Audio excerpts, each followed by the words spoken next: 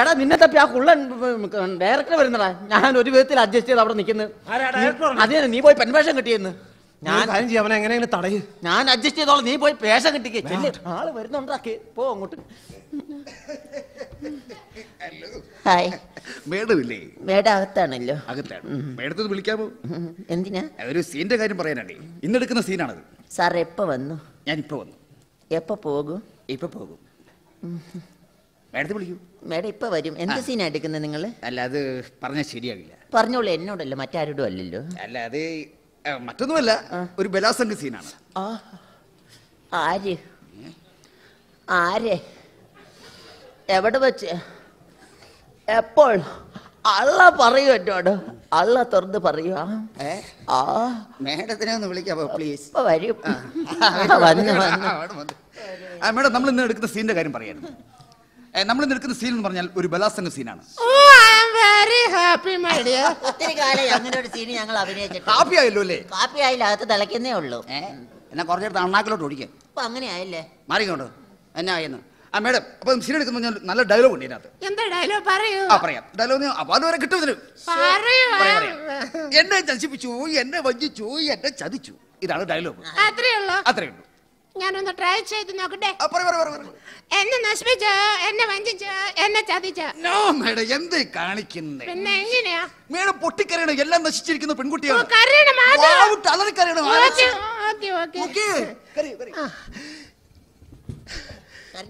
എന്നെ നശിപ്പിച്ചു എന്നെ വഞ്ചിച്ചു എന്നെ ചതിച്ചു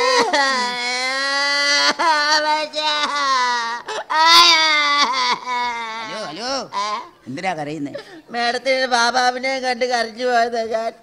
ഏതാളേ ഏ ഞാൻ ഒരു കാര്യം പറഞ്ഞേക്കാം. കാലവരി ഞാൻ നെത്തടിക്കും കേട്ടോ. അപ്പൊ അങ്ങനെയായല്ലേ? എങ്ങനെയായിരുന്നു? അല്ലെങ്കിൽ ഈ ആണുങ്ങൾ ഇങ്ങനെയാ. ചെളി കാണുമ്പോ ചവിട്ടും വെള്ളം കാണുമ്പോ കഴുകും. അങ്ങോട്ട് പോകുന്നില്ല കേട്ടോ. മേഡം ഇങ്ങോട്ട് വന്ന മേഡം. മേഡം ഇങ്ങനെ കരഞ്ഞ പറ്റില്ല. എങ്ങനെയാ സാർ? സാർ ഒന്ന് കാണിച്ചു തരോ? അല്ലെങ്കിൽ എനിക്കൊരു മൂഡ് ആ മൂഡ് ക്രിയേറ്റ് ചെയ്യാൻ ഒരു കാര്യം ചെയ്യും. കോ ആർട്ടിസ്റ്റ് ഇല്ലാത്തതുകൊണ്ടാ ഞാൻ നിൽക്കാം ഞാൻ നിൽക്കാം ആ ഞാൻ വില്ലനാകാം. മേഡത്തെ നശിപ്പിച്ച ആളാണ് ഞാൻ. അതിനൊക്കെ ആയോ?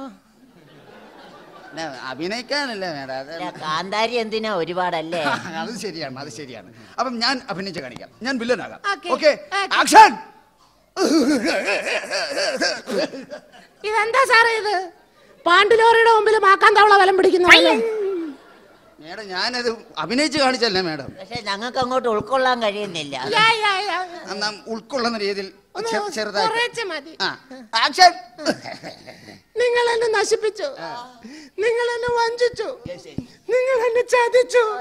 ദുഷ്ടനാ നിങ്ങൾ. അയ്യോ. നിങ്ങൾ എന്നെ വഞ്ചിച്ചു. അയ്യോ. നിങ്ങൾ എന്നെ ചതിച്ചു. നിങ്ങൾ എന്നെ നശിപ്പിച്ചു. നിങ്ങൾ- നിങ്ങൾ താൻ ഷെട്ടിയെ നശിപ്പിച്ചല്ലോടോ ഞാൻ പണ്ട് മുതലേ പ്രതീക്ഷിച്ച അത് സംഭവിച്ചു. എന്റെ പൊന്ന് സാറേ ഞാൻ ഡയലോഗ് പറഞ്ഞു പഠിപ്പിച്ചതാ. അയ്യേ താൻ ഡയലോഗ് പറഞ്ഞായിരുന്നു അല്ല എന്നാലും തനിക്കൊരെണ്ണം ആവശ്യമാ. പണ്ട് മുതലേ ഞാൻ ഇങ്ങനെ ഓങ്ങി ഓങ്ങി വെച്ചിരുന്നത്. വരാനുള്ള വഴി തങ്ങിയല്ലേ സാറേ.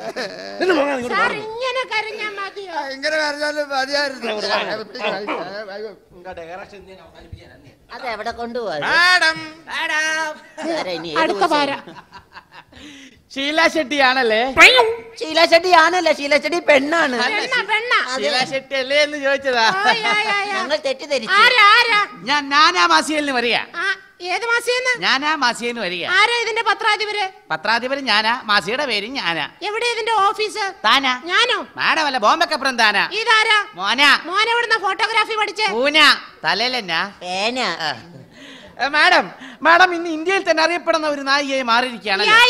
അയ്യോ ഇന്ത്യയിൽ മാത്രമല്ല. ഞങ്ങളെ കോട്ടയത്തൊക്കെ അറിയാം.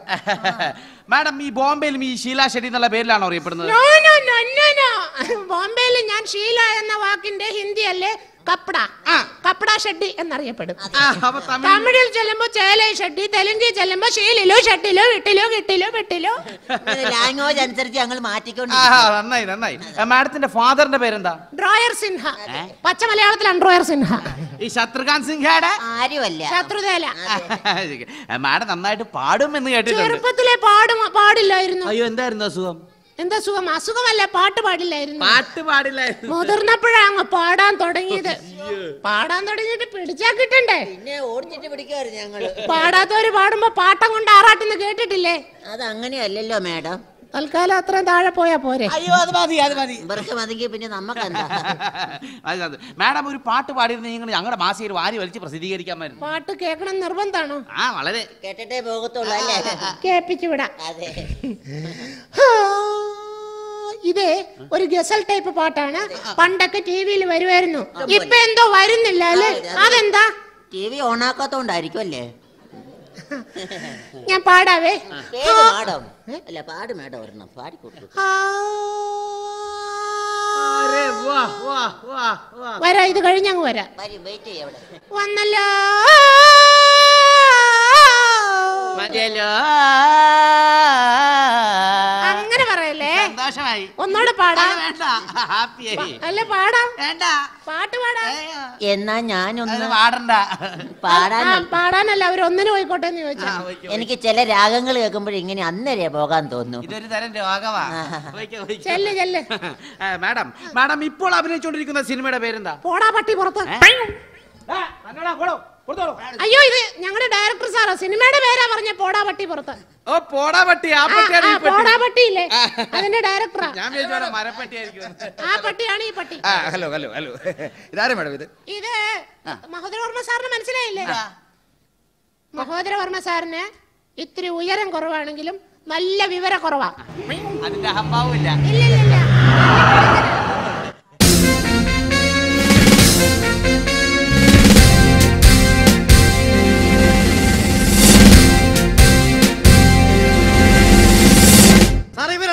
പാർട്ടി. ചോദിക്കും.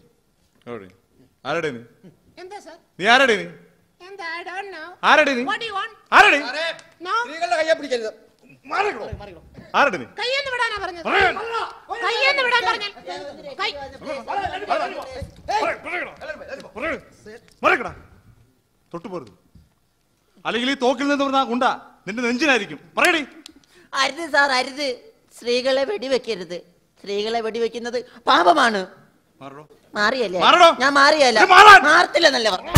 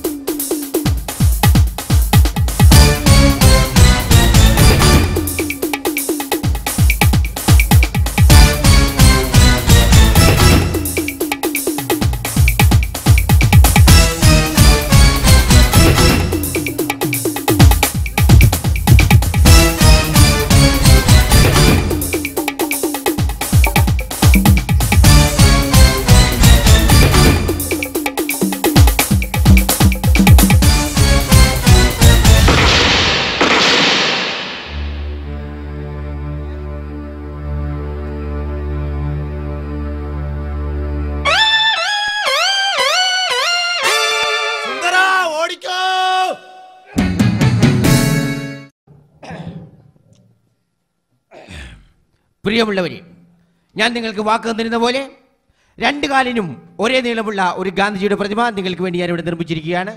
നിങ്ങൾ എവരുടെയും അനുവാദത്തോടും ആശീർവാദത്തോടും കൂടി മഹാത്മജിയുടെ പ്രതിമ ഞാൻ അനാച്ഛാദനം ചെയ്യുകയാണ്.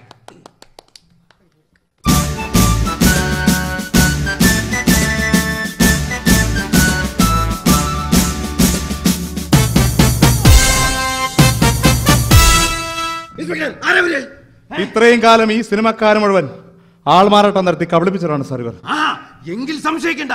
ഇവർ പാകിസ്ഥാൻ ചാരന്മാരാ. ഇവരെ അറസ്റ്റ് ചെയ്ത് തുറങ്കിലടച്ചാലേ നമ്മുടെ ഭാരതം രക്ഷപ്പെടൂ. ഞങ്ങളെ അറസ്റ്റ് ചെയ്ത ഭാരതം രക്ഷപ്പെടില്ല സാറേ. സ്വാതന്ത്ര്യത്തിന്റെ അമ്പത്താറ് വർഷത്തെ അതുകൊണ്ട് ആനന്ദത്തിലാണ് ഭാരതത്തെ ഇക്കാലം അത്രയും സഹായം പോലെ ആൾമാറാട്ടം നടത്തി കബളിപ്പിക്കുന്ന തന്നെപ്പോലെ രാഷ്ട്രീയക്കാരെ അറസ്റ്റ് ചെയ്ത് ഈ ഭാരതം സ്വതന്ത്ര ഭാരതമാണെന്ന് കരുതി. ഒരു മന്ത്രിയോട് എന്തും പറയാനുള്ള സ്വാതന്ത്ര്യമൊന്നുമില്ല. ശരിയാ. സത്യം പറയാൻ മാത്രമുള്ള സ്വാതന്ത്ര്യമില്ല. തന്നെ തന്നെപ്പോലുള്ള രാഷ്ട്രീയക്കാർക്ക് ഈ നാട് ഭരിച്ച് കുട്ടിച്ചോറാക്കാനുള്ള സ്വാതന്ത്ര്യമുണ്ട്.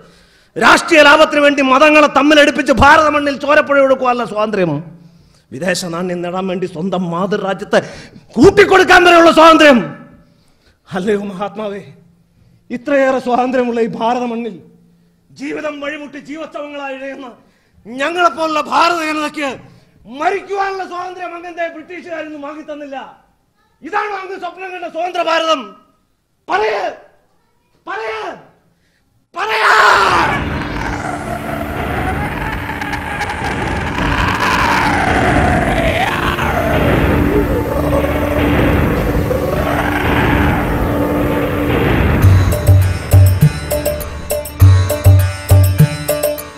എന്റെ രാജ്യം സ്വതന്ത്രമായി എന്ന് ഞാൻ പറയണമെങ്കിൽ ഈ ജനതയുടെ ആഹാരവും വസ്ത്രവും പാർപ്പിടവും തൊഴിലും അവർക്ക് പൂർണമായും ലഭിച്ചിരിക്കണം.